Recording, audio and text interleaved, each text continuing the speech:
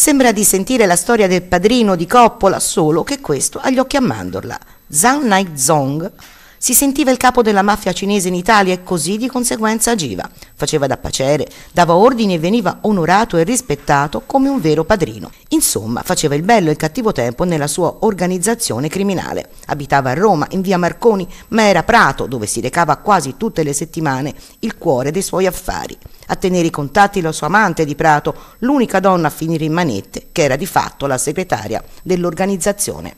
La presenza della mafia cinese a Prato eh, si è sempre sospettata e per la verità esempi risalenti a oltre vent'anni fa ce ne sono anche stati, oggi invece abbiamo conferma della piena operatività di una mafia cinese che opera non solo in Italia ma in Francia, in Germania, in Olanda, in Spagna, quindi ha una capacità di proiettarsi non solo dal punto di vista criminale ma anche dal punto di vista economico. Le mafie straniere per lo più quando operano in territori in cui sono presenti le nostre mafie hanno un, dire, un ruolo che è subalterno e molto spesso di collegamento per attività criminose, ma non di controllo del territorio.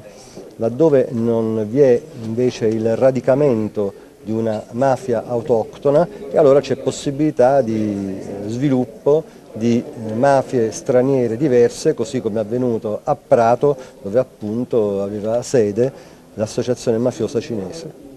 Zhang, secondo eh, varie intercettazioni ambientali, si autodefiniva il boss, il capo dei capi, ma era riconosciuto come tale da molte, molte dei suoi connazionali. Secondo le traduzioni approfondite che sono state effettuate, la parola mafia veniva espressamente utilizzata da, da alcuni, da molti dei conversanti. La definizione capo dei capi la dà il GIP nella sua ordinanza è sicuramente una definizione che permea perfettamente il personaggio. Ieri mentre pedinavamo lui era a mangiare in un ristorante e numerosi cittadini cinesi residenti a Prato si sono avvicinati al ristorante, sono arrivate le loro macchine, sono scese, sono andati a salutarlo, mangiarlo, quasi inchinandosi e sono andati via.